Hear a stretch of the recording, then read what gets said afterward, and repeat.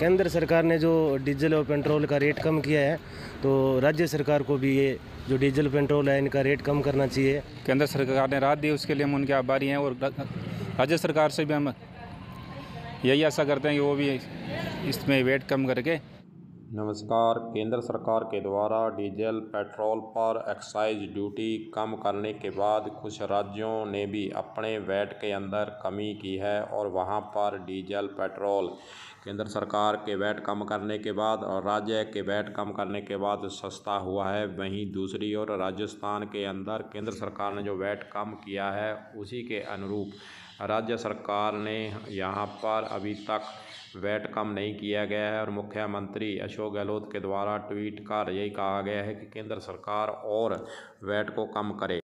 वहीं दूसरी ओर वाहन चालकों का इस मुद्दे पर क्या राय है, क्या कहना है, उनका वह भी आपको सुनाते हैं, सुनिए।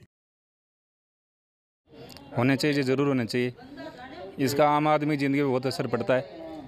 अभी सौ रुपये का पेट्रोल जैसे थोड़ा फ़र्क पड़ा है केंद्र सरकार ने राहत दी है। राज्य सरकार ने मना कर दिया, इसके बारे में क्या कुछ केंद्र सरकार ने राहत दी, उसके लिए हम उनके आभारी हैं और राज्य सरकार से भी हम यही आशा करते हैं कि वो भी इसमें वेट कम करके आम जनता को राहत दे।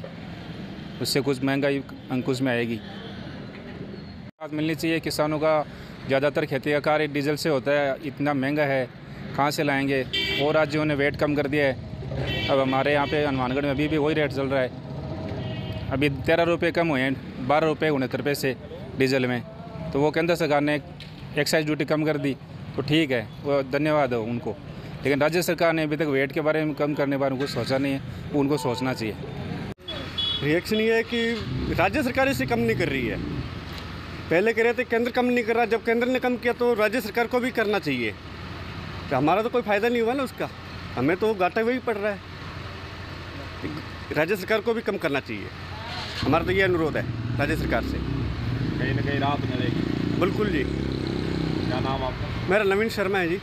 जो डीजल और पेट्रोल का रेट कम किया है तो राज्य सरकार को भी ये जो डीजल पेट्रोल है इनका रेट कम करना चाहिए जिससे कि हम जैसे लोग को परेशानी ना आए दिक्कत ना आए रेट कम होएगा तो हमें भी पैसों की बचत होगी।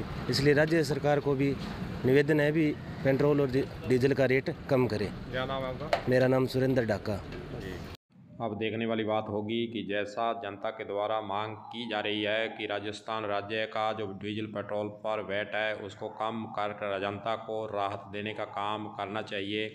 देखने वाली बात यही होगी कि क्या राज्य सरकार के स्तर से राज्य का वैट कम किया जाता है या नहीं। कलम न्यूज़ के लिए गुरुदेव सिंह सैनी की रिपोर्ट।